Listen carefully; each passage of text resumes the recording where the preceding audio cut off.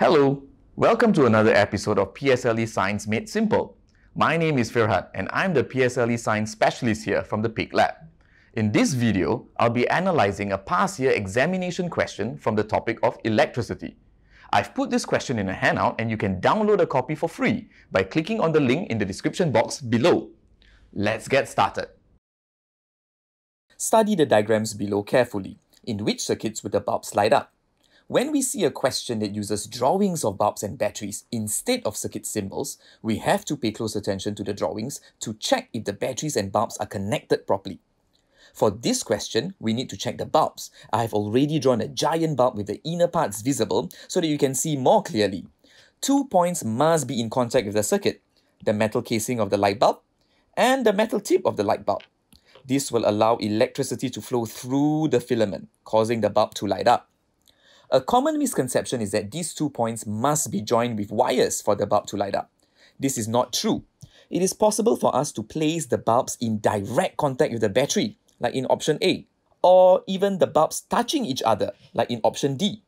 We must check that the metal casing and the metal tips of the bulbs are connected to the circuit. So let's take a look at option A. Metal casing of the bulb is touching the battery, and metal tip is touching the wire. Can electricity flow through the filament of the bulb? Yes, it can. Will this bulb light up? Yes, it will.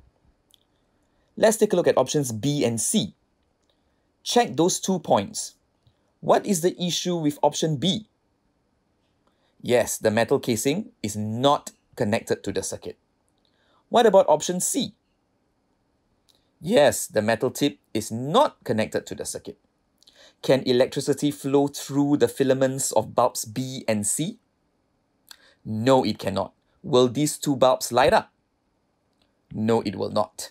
Let's take a look at our last option. Are the metal casings and metal tips of both bulbs connected to the circuit? Yes, they are. Can electricity flow through the filaments of both bulbs? Let's check. Yes, they can. Will both bulbs light up? Yes, they will. So bulbs will light up for options A and D, giving us the answer as number 4. Thank you for watching and I hope you enjoyed this video. If you found this video useful, do give us a thumbs up. If you want to check out the other videos, click on the links on the right hand side.